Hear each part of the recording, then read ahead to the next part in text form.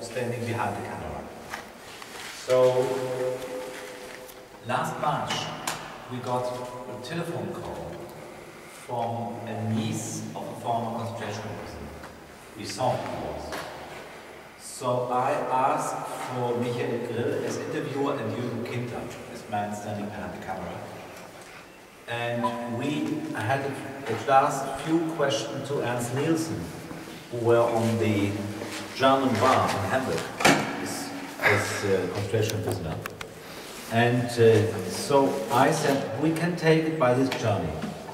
So we went to Slagelse on the island of Zealand, where the capital of Copenhagen is. And the name of the former concentration prisoners was Axel Røfeldt Mikkelsen.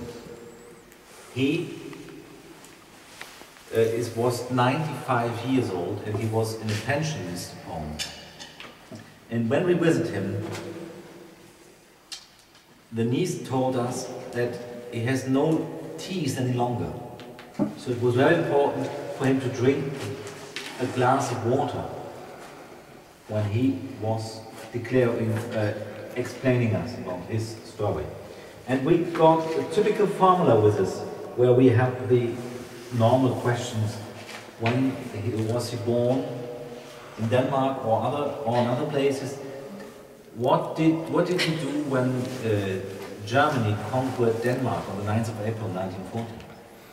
And then, by which accident or by which reason he came to a concentration camp?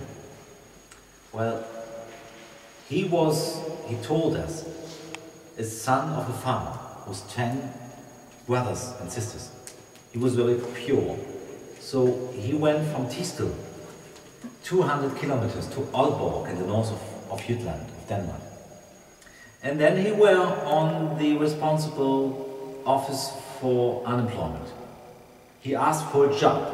There was no job for him. But he got an offer. He could sign a, a, a